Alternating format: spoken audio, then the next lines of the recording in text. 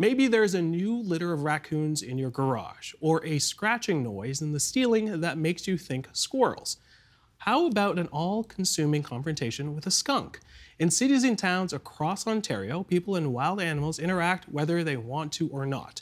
New York opted to hire a rat czar to oversee their biggest problem. Does something similar make sense for the critters we see in our cities here? Let's ask Nathalie Karvonen, director of the Toronto Wildlife Centre, and Brad Gates, owner and president of Gates Wildlife Control. Welcome to you both. Thank you so much for joining us on the program. Now, to get us started, let's get a sense of a typical day at the office uh, for, for both of you. This is actually a video of Brad Gates on the job with his colleague and some uninvited attic dwellers. Let's have a look.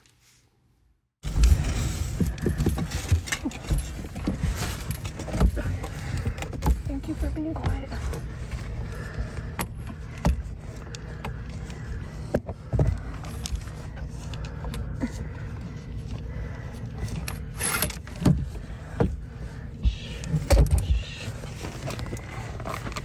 Being quiet, buddy. You're a good boy.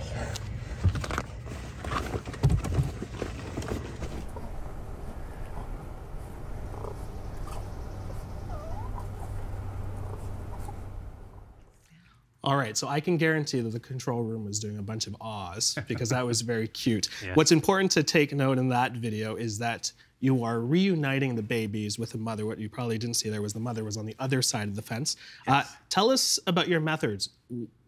We want to make clear that your business is wildlife control, not extermination. Your your company's slogan is the animal's choice Correct. since 1984. So tell us a little bit about the distinction. Correct. So when I started my business in 84, the most common way of removing wildlife was to set a live trap, catch it, and take it many miles away and release it.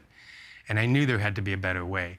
So what we started to do is finding methods to keep the family unit together, keep them in an area that they're familiar with where they can find their food and find additional shelter. And we, over the years, have we haven't perfected it because we're always learning on how to do things better. But I think we've, we're well on our way to using the animal's biology and behavior to help them get their babies back, relocate their young, and continue to live in an area that they're familiar with. All right. Full disclosure, Nathalie, I was chatting with you off camera that I spent a summer volunteering uh, at the Toronto Wildlife Centre, working with the, the Squirrel Nursery, where a lot of volunteers uh, get their first start. But for audience, for our audience, tell us sort of the work that the Toronto Wildlife Centre does and how is it different from what Brad does? Well, uh, we are the busiest wildlife center in the country, so it would take quite a long time to explain all the things that we do. But uh, I guess to, to, the point of this program, uh, we have a wildlife hospital, which is very busy. We admit about 6,000 wild animals a year that are sick, injured, or orphaned. Um, with regards to the orphans, I mean, we've known uh, Brad's company for a long time because we, we do consider their work to be very uh, responsible and humane. And there's very little licensing for wildlife removal companies out there. So a lot of really crappy companies are generating a lot of work for us. So each year um, we get requests to take so many babies that are I guess orphaned in the sense, I put use quotation marks because they probably still have a mother, but their mother has probably been trapped and taken away and dumped somewhere now. Uh, and all those babies are left behind. And, and, sometimes it's even homeowners who don't know any better and they have a trap, they don't realize it's a female with babies. They say, oh, there's a lovely forest on the way to my cottage. They drop her off, she's probably not gonna live. Uh, and then a few days later, they're screaming babies, and they have to call us. So, so we're dealing with, um, in addition to the orphans, sick and injured wild animals, uh, and about 300 different species. There's a huge diversity of wildlife in the Toronto area. Give me, give me a range of what type of animals you're dealing with. Many, many species of owls, many species of hawks, many species of bats, an amazingly huge diversity of songbirds. There's deer, beavers, mink, uh, weasels, rabbits, opossums, just a, a, a lot of waterfowl like um, swans and grebes and loons. Uh, just a huge diversity of wildlife. All here in the city. Yeah. All in the city, mm-hmm. yeah. Mm-hmm. I mean, this city has an amazing amount of green space and a lot of natural areas, which is something that I think many of us really love about Toronto and surrounding areas. And we put a lot of resources into that but it causes a lot of problems because it means that wild animals are living in very close proximity to things that are not only a danger to them, but can be a frustration to people as well. All right. Um, we're not going to talk extensively about rats or mice, but I do want to talk about this um, just because, as we said off the top, New York just appointed a rat czar to help bring down uh, the population of rats. Does Toronto or Ontario's urban centers need something like that for rats and mice? Do we have a problem like like New York does? Not like New York. Um, I think New York is probably one of the filthiest cities in North America, and that is why they have such a problem. There's so so much access to food and shelter that their numbers just explode. I think Toronto is on its way to doing a, a pretty good job at controlling um, some of the mice and rats uh, in in our inner city, um, and they've done that by just recently on April 1st they introduced the no feeding wildlife bylaw which is great because you're not introducing wildlife to people. And so we are different. We, we should keep our distance from one another. Um, also, the city has um, bylaws on um, property standards where we have to keep our, our backyards and our properties in, in decent repair so that animals aren't attracted and wanting to break in. Um, and just the green bin in itself keeps the food waste that we produce away from these critters so that they're not, uh, not again, multiplying quickly. All right, we'll get back to that bylaw because I definitely have some questions there. Uh, so, Nathalie, it, it's good. We don't. It doesn't seem like we have a rat problem, at least to the extent uh, uh, to the if we compare it to New York. But I'm curious, what creature is Toronto's number one hmm. wildlife challenge? Mm. Well, it depends on which direction you're approaching hmm. it from and who you ask. I think, I mean, uh, some people might say raccoons, you hmm. know, because they get into garbages or, or roofs or things like that. Some people um, might, if they're in parks, they might say Canada geese because they poop a lot along the shoreline. That's often when people are feeding them, though. Right. Uh, some people might say coyotes, you know, if they're worried about their cat who shouldn't be outside free roaming. That's a whole other issue. uh, or their small dog. Um, so I think it depends a little bit on, on who you ask. I'm going to stick with the raccoons um, because I think a lot of work has been done to sort of get raccoons out of our garbage and, and such. What is the best way to deal with them? Um, and I, am assuming a raccoon czar is not uh, needed in, in, terms of that. But I think when people think of urban centers in Ontario, particularly Toronto, we see raccoon. Uh, that's sort of the image that a lot of people uh, see. What is the best way to sort of and I, I don't want to say deal with them because, hey, th- th- we're in their backyard just as much as they are in our backyard. So we need a human czar. Uh, so, in, in, my opinion, uh, it really comes down to human behavior. Um, we have a very, very busy wildlife hotline at Toronto Wildlife Center. I, just, I, think it's the busiest one in North America. We get a crazy number of phone calls about all manner of wildlife issues. I took a call once years ago, which is indicative of the problem. It was a woman who had spent the last three months teaching her local raccoon, eh, who she had named Bandit or Rocky or whatever it was at the time, to open her kitchen door, come into her kitchen, and take food from her mouth. Mm. And she thought this was a great achievement. Mm. Um, and her neighbors were horrified. You know, this raccoon knows how to actually open the screen doors to their houses. But so many people feed raccoons, uh, and so many people feed other wild animals. Uh, people put food out for their pets, who, again, shouldn't be outdoors unsupervised, but the raccoons get into that. Um, and I agree with Brad that green bins are a great step forward. But if you go places like the Danforth, every every restaurant and variety store has an overflowing dumpster behind it with all kinds of food scraps, and the raccoons are like woo, and there's mm-hmm. 20 raccoons every night feeding from there. So I think first and foremost we have to look at human behavior. Um, I always talk about my cottage, which is in a very remote area, and the only time we see raccoons is on our trail camera, which is the motion activated camera, mm. because we don't feed them. There's a provincial park there, and they just they're normal raccoons. Um, but in the city, we effectively train them to behave badly. You say normal raccoon. what does that actually mean? I think, like, for people who live in the urban center, a normal raccoon is one that's crawling on our green bin and, yeah. you know, sort of walking the sidewalks uh, and, and sort of scaring people uh, or, or, you know i had a, I had a run-in with a, a, raccoon not that long ago i was like oh but a normal one is what scavenging on its own on a trail a normal wild animal should not be anywhere near people. A normal wild animal should be afraid of people, uh, should be not see people as a food source, shouldn't see, you know, Brad and say, hey, you might give me a sandwich. I'm going to go up to this guy and see what exactly. happens.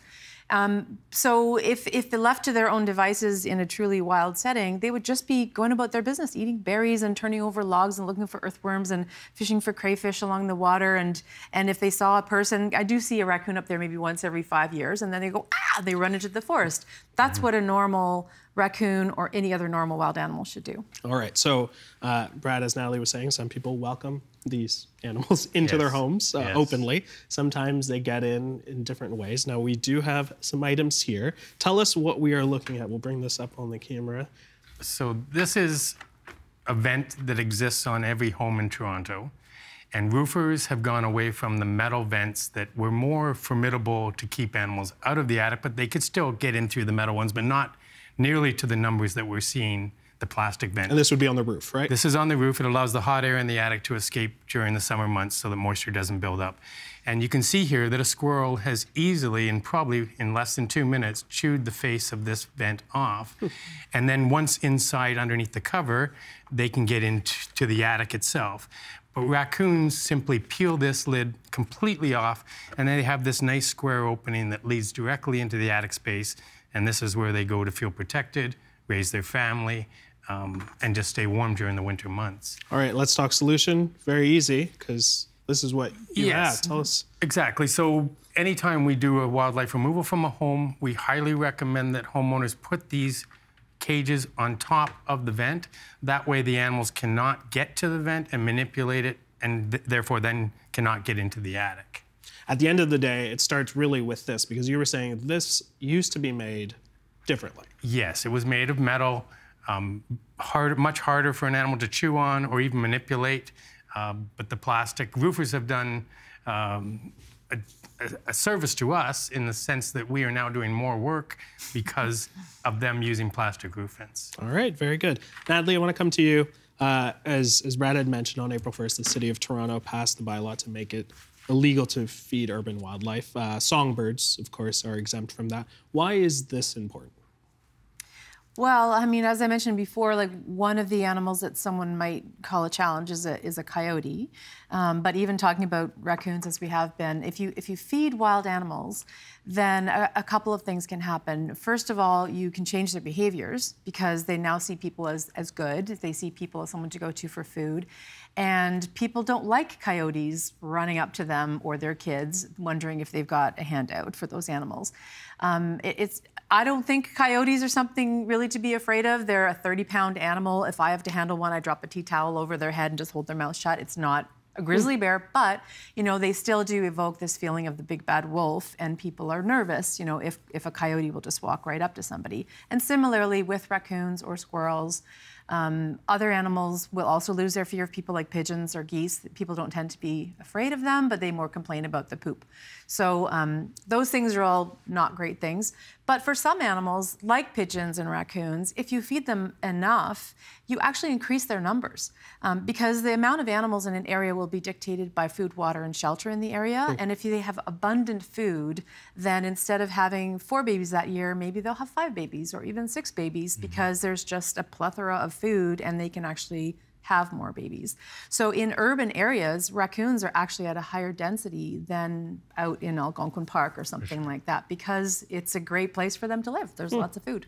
Um, I want to talk a little bit on the education side of feeding because I think some people, and you- you've talked about this, we know where you stand on cats, outdoor cats, and I I understand why. There are people, and I, I don't want to put my best friend on blast, but uh, cat colonies. These are, you know, lots of people think they're doing a lot of help, putting out food for cats and, and thinking that, you know, this poor little animal doesn't have food. I need to feed it. I need to, you know, one said friend has it on a timer and has all this stuff ready to go, but also hmm. attracts all of these other animals like hmm. possums, skunks, and raccoons. How do you balance that education where people think that they're doing good, but ultimately it is this reoccurring problem? Yeah, I mean, you re- it really comes down to um, talking through sort of the, the fundamentals and the biology of what's happening with the people. You know, as I mentioned to you, talking about the fact that you're changing behaviors and elevating populations. I mean, generally, in all the years we've been doing this, you know, I've never met a mean person who feeds wildlife, you know, or who feeds feral cats. It's all coming from a good place, you know. So it's just trying to talk to those people and, and get them to understand that they are they may actually be be doing a disservice to the animal. So if it's a wild animal that they want to feed, if they desperately want to feed them, you know, then we will say if it's songbirds, you know, plant berry bushes, you know, in your area or natural food sources for those animals. Um, the feral cat feral cat colonies to me are I mean they're not wildlife, you know, they're domestic animals, but that's a really, really complicated uh, issue that would probably require a whole show in itself. I, am a huge cat lover myself. Um, I worry about feral cats being just left out there. The feral cats themselves um, are subject to so many diseases and being hit by cars. I remember seeing one in the annex, the Bloor Annex, when I used to live there, that had a dangling, broken back leg, and, and you couldn't get near him. He was getting just running away from you with this dangling, I'm sure incredibly painful, broken leg. So it's a hard life for them out there. Um, but then they, in turn, um, have an enormous impact on songbird and small mammal populations. So it's a complicated issue. for Very sure. complicated. Uh, Brad, apart from denying food sources to wildlife, uh, what else should you know city slickers be doing to prevent damage not only to themselves, their homes, or their pets? Well, wildlife populations grow or expand depending on the amount of uh, food and shelter that's available, as Nathalie mentioned. So if you can control the food aspect, the next thing to control would be shelter. Now, there are a lot of older buildings in Toronto, and I don't think you could button up every house so that an animal will not get in.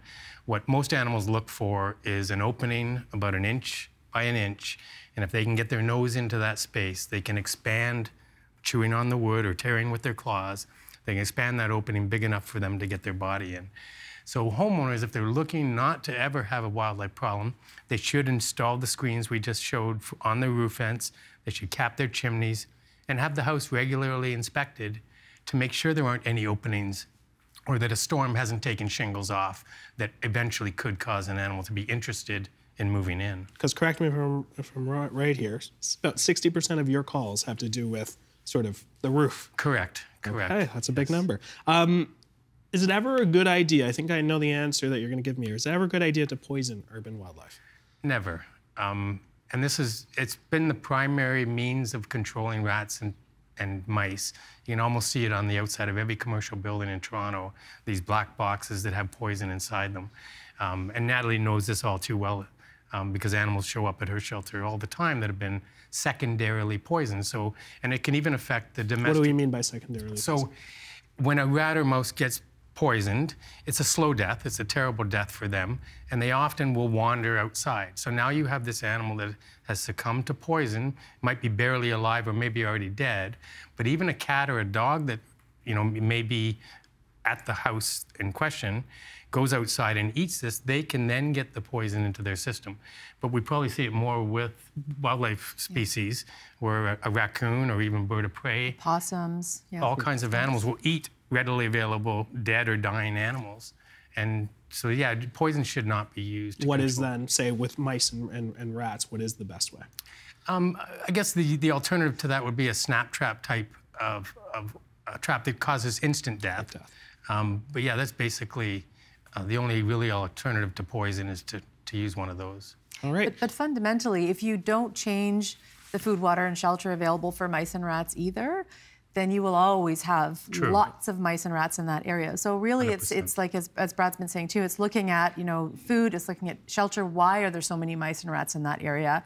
And trying to identify the fundamental problem and deal with that. Otherwise, you're just doing cruel things to animals who feel pain just like your dog or cat does uh, in perpetuity and not really solving the problem.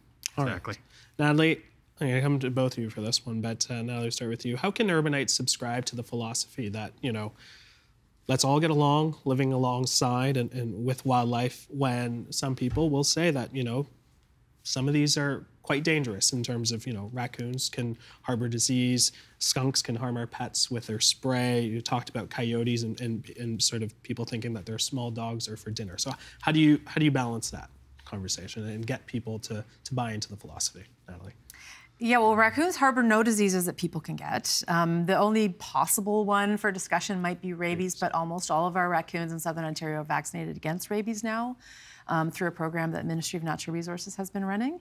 So How about the one distemper? Is that something for people for don't get distemper. Uh, raccoons got it from dogs. You know, we do a lot of disservices to wildlife, uh, but people cannot get distemper.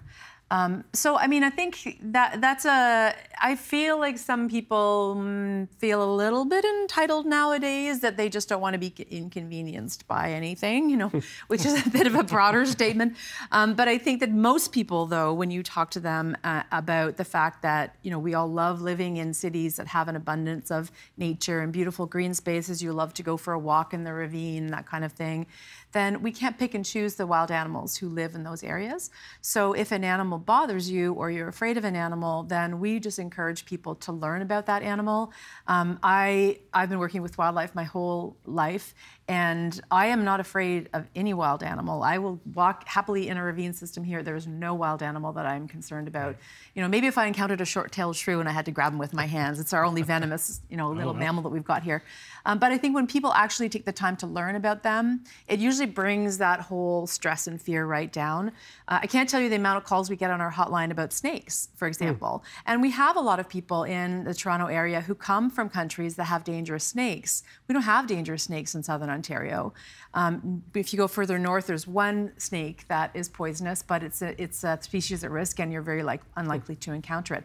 So we get calls about people who are hiding behind their couch and they've got the windows boarded up because they've seen a garter snake, and all we really need to do is spend five minutes talking to them about the fact that it's a completely harmless animal, and they feel better about it. Brad. Education is key. I totally agree with everything Nathalie said. Um, part of our job in removing wildlife is our the homeowners that call us uh, are sleep deprived. Um, they're afraid that the animal's going to drop through the ceiling and attack their family. So we need to convey to them that that's not reality. And how we do that, often we get the call. They don't care what we do to the animals as long as they can get back to sleep and they no longer hear this noise in the house. When we go up in the attic and we remove the babies that you saw in the video and we go down into the house, we take a moment to show them the babies. And they do a complete 180 in their thinking that they wanted the animals killed. The next words out of their mouth are, You're not going to hurt them, are you? so, one customer at a time, we're educating them that wildlife are not dangerous and we should learn to coexist. And through screening the roof fence and protecting their house, they can have a long term solution and not experience a wildlife problem ever again. What do you say then to some of the people who are, you know, upset that their garden is being chewed up, who have to pay, you know, a couple hundred dollars to fix their their roofs, who see it as an inconvenience, but there's some there's dollars behind that uh, that you know they may, may not have. The problem was, uh, I guess, if you have a leak in your roof, um, the problem is that you didn't take care of your roof. So if you have a raccoon or a squirrel that's moved into your house, the problem is you didn't take the necessary measures to keep it out. So it really comes back down to, as Nathalie was alluding to, it's people behavior.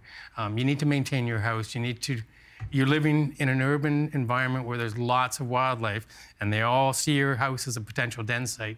You need to take the measures one way or the other to prevent that from ever happening. People see people don't seem to feel if there's a really strong wind that blows shingles off their roof or that maybe knocks a branch onto their roof and they have to incur costs because of those things. People don't seem to have the same reaction as, as if it's a wild Very animal true. who does it. You know, they, if, if they don't call their councillor and say, ah, the wind damaged my house and now I have to pay yeah. $200. But they will do that if a squirrel did it, you know, which is, you know, to us, anyways, it's really just all part of nature. And um, as Brad says, you know, maintaining your property, it's all part of the same package. My last question to you, Nathalie: How much of this is actually when we talk about green space and we talk about sort of cohabitating as as one with urban wildlife? How much of this has to be sort of seen and done from a, a- a planning perspective? None of us are really planners, but how much of this needs to be seen from that from that set and, and kind of moving forward? Like urban planners, mm-hmm. you mean? Oh my goodness, I would love it if urban planners would have even one person on their team who was a wildlife expert. The the last in in less than I think it's about three weeks now. Our rescue team um, manager just told me yesterday we've actually rescued about 500 duck and goose families off green roofs in Toronto. And that's all we can manage. Like they are literally going with their hair on fire all day long from green roof to green roof to green roof because nobody uh, really thought about the fact that we actually, it's mandatory now to put green roofs in new construction. They don't realize that ducks and geese see that as a potential place to have their babies. And then the ducklings hatch, they have 20 story drop to the ground because they can no longer just walk off the roof. Um, off-leash areas uh, that for dogs that are put right next to coyote habitats, you know, glass buildings on migratory flyways. There's so many things we could do with better urban planning. All right, we're gonna have to leave it there. Nathalie, Brad, thank you so much for joining us on the program. Really appreciate it. Thank you. Thank you. The Agenda with Steve Paikin is made possible through generous philanthropic contributions from viewers like you. Thank you for supporting TVO's journalism.